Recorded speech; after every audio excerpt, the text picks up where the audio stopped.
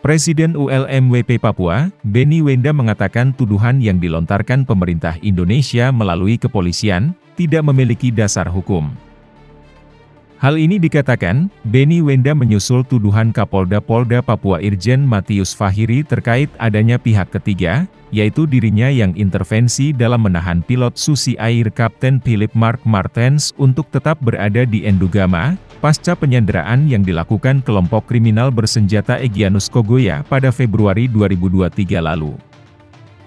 Saya sebagai Presiden ULMWP West Papua menyampaikan bahwa tuduhan yang dilontarkan oleh pemerintah Indonesia terutama pihak kepolisian Indonesia itu tidak ada dasar hukum, karena justru saya sudah berusaha memfasilitasi pembebasan pilot termasuk melibatkan pihak ketiga sejak tahun lalu, kata Benny, Selasa, 27 Februari 2024. Bahkan, Benny Wenda secara tegas menuduh pemerintah Indonesia sendiri yang menghalangi pembebasan pilot asal Selandia Baru. Karena Indonesia menahan dan mengintimidasi orang-orang yang membawa berita masuk keluar dalam rangka pembebasan pilot, tegasnya. Dia juga mengaku bahwa militer Indonesia terutama Kopassus, pihak polisi, intelijen Indonesia dan pemerintah selama ini menggunakan isu penahanan pilot Susi Air sebagai lahan bisnis. Ada harga tawar-menawar demi pangkat dan jabatan termasuk Prabowo Subianto dalam pencalonan di Pilpres, di mana jika dipilih dan menang karena salah satu isu yang dia jual dan bernegosiasi dengan pihak Barat adalah penahanan pilot, terang Beni Wenda.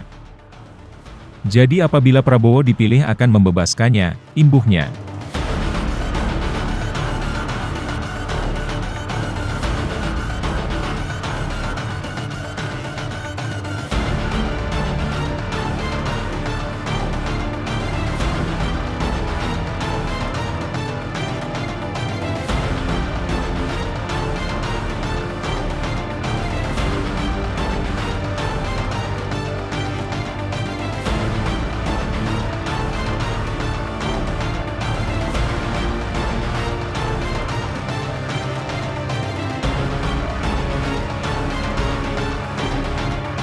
Download Tribun X sekarang.